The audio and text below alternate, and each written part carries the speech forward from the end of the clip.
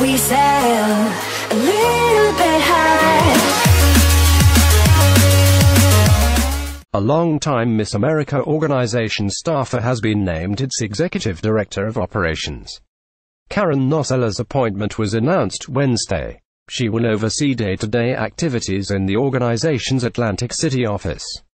Nosella has worked for more than 30 years in public relations and marketing.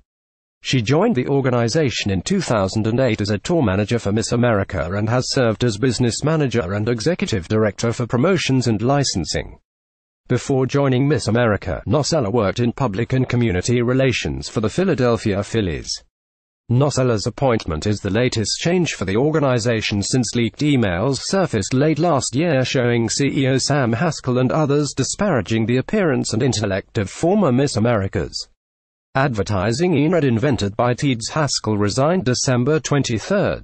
Most of the previous board members also have resigned.